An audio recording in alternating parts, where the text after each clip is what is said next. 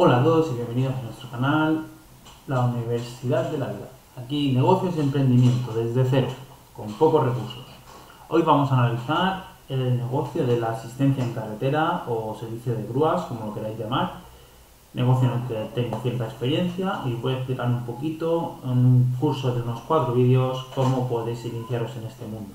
Ten en cuenta que siempre dependerá un poco del país ya que cada uno tiene sus normativas que tendréis que cumplir. Yo os daré las cuatro pinceladas básicas y luego ya cada uno en su país tiene que profundizar más, ¿vale? Eh, bueno, ¿qué hay que tener en cuenta en el mundo de la asistencia en carretera? Eh, básicamente, el mundo del transporte en grúa no solo es asistencia en carretera, ¿vale? Asistencia en carretera es cuando se te rompe el vehículo y llamas a una grúa para que te venga a buscar. Pero si tenéis una grúa, podréis hacer más servicios, no solo asistencia en carretera. Podéis transportar eh, maquinaria de obra, podéis transportar eh, material de construcción, podéis transportar, bueno, al final podéis transportar todo lo que queráis que por peso y capacidad os entre encima de la plataforma de la grúa, ¿vale? Eh, transportar embarcaciones, remolques, motos, bicis, mm, bueno, de todo, ¿vale? Eso hay que tenerlo en cuenta. Pero bueno, más, más o menos las empresas normalmente de este gremio se suelen dividir en dos tipos, y es la que se dedica casi casi por completo a la asistencia en carretera, que suelen trabajar para aseguradoras como Mafia, Allianz, el RACE, etc. Y luego tenemos por otra parte las empresas de grúas que hacen de todo, que trabajan más para particulares, para talleres, maquinaria de construcción, etc. ¿vale? Se pueden hacer las dos cosas, pero cada uno tiene sus requisitos. ¿vale? ¿Qué más tenemos que saber de este negocio? Pues este negocio Claro, necesitáis una grúa, yo recomiendo empezar con algo pequeño, haremos un capítulo solo para ver qué tipos de grúa hay y cómo podemos empezar con ello y qué os recomiendo y no recomiendo en base a mi experiencia hacer, ¿vale?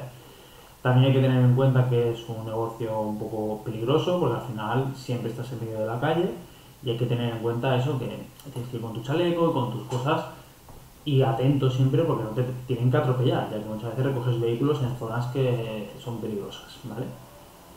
Y dependiendo un poco del tipo de empresa que creéis, si es más lo que hemos dicho, trabajar para seguros, el trabajo será 24 horas, 365 días del año.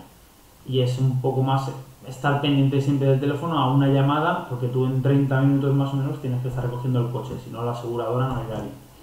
Y en cambio, si tenéis la otra parte, que trabajáis para más talleres, empresas de barcos y temas particulares y negocios privados, pues es más por encargo. Pues llamarán, oye, ¿me puedes transportar un coche del taller este al otro taller o que compraste coche y no lo puedes transportar?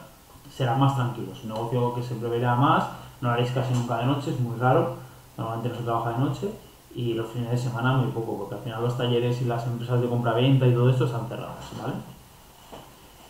Y bueno, poco más. Este es el vídeo de introducción y ahora vamos a ir con el curso capítulo a capítulo viendo todas las necesidades que tenemos que cubrir y lo que necesitamos. Si os ha gustado, dadle un me gusta, like, suscribiros y nos vemos en el siguiente episodio con el negocio de grúas.